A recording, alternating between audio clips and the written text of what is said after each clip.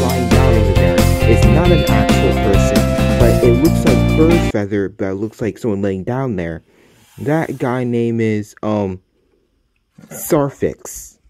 Sarfix is like those and one of those entrophic birds that you know lays down and has a relaxation time by its own and likes to sleep in other kind of branches.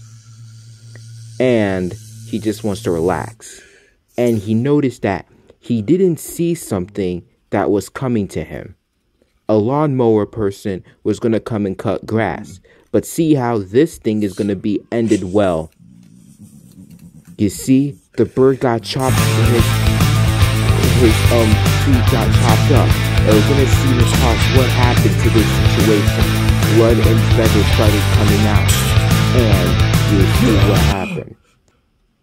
Alright, so this happened when the lawnmower person was spotting something and he spotted that a branch that was like you know like something but he noticed that it was like a bird like feathering legs or something but i thought he thought it was a bird that slightly an eagle slightly caught off it would look like it was like an actual entrophic in that entrophic bird that laid down in that you know to slide it like you know that cut it off with log. And he thought it was a brain it was a bird under there that cut off with something that looked like it was you know bird legging or something. And that cut that the cutter cut to the bird's two legs. That it says you know how birds have those kind of legs. They have these like tall kind of actual birds have these called kind of like skinny stick like legs. But this entrophic bird had you know like a big like medium size which blood had a flow out it had a blood inside. And that made the bird when down on ground with bloody with bloody restless with his feet. And with his with his feet cut off and blood flowing down with his feathers and his legs feathers with a lot of feathers on of him blood flowing down. And that made the bird still down with bloodness and also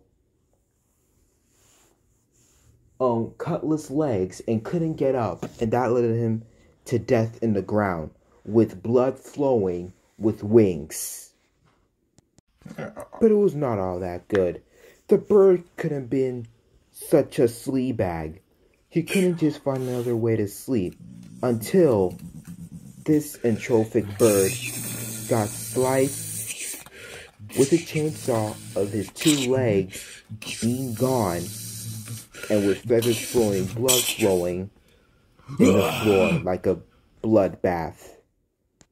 Hey, Sarfix. You're okay? That your two legs are gone? Birdie? Gaw, gaw, gaw.